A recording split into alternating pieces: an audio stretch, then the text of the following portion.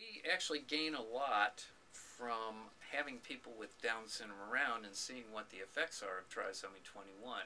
At the same time that um, I'm working to see if we can ameliorate some of those effects, we're learning about the processes that cause these issues. And there, there's nothing that occurs in Down syndrome that doesn't occur in the rest of the population. Uh, it's just that the frequency is much higher.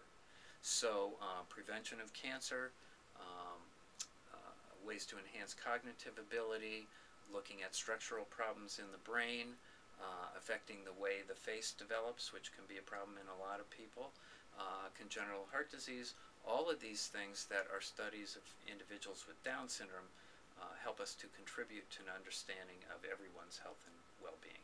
And if it weren't for people with Down syndrome, many of these would gonna go unnoticed.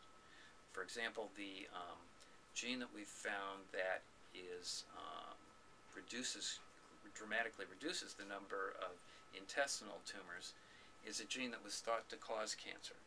So no one would ever have gone around overexpressing this gene to prevent cancer.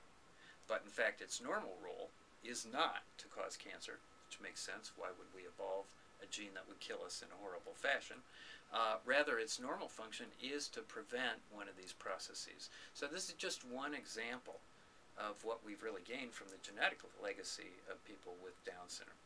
So um, there is an awful lot to be learned from them scientifically, and once you get the opportunity to interact with a lot of these people, there's a lot to be learned from them personally as well.